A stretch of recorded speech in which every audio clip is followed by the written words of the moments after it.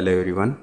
Uh, the researchers from MIT and Harvard University have developed a gripper that is uh, robot gripper uh, that is both uh, soft and strong. Uh, it is uh, developed by, with the inspiration from Origami Magic Ball. Okay. Their paper title is Vacuum Driven Origami Magic Ball Soft Gripper.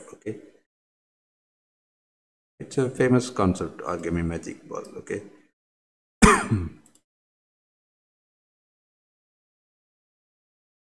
the basic of uh, uh, this new gripper. Okay.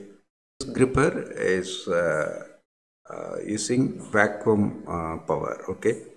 Uh, right now, a lot of uh, different grippers, robotic grippers are available, finger-based grippers, even suction grippers are there.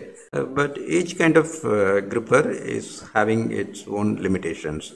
Uh, some grippers will work for certain you know, objects, and some kind of grippers will work for some other objects.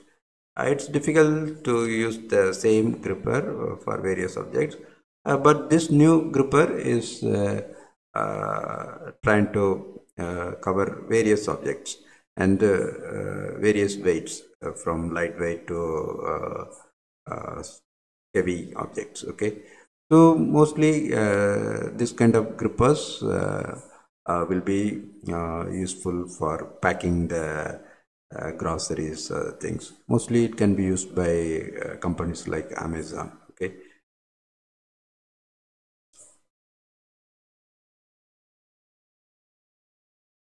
Uh, thanks for watching this video. Subscribe to our channel for viewing more videos.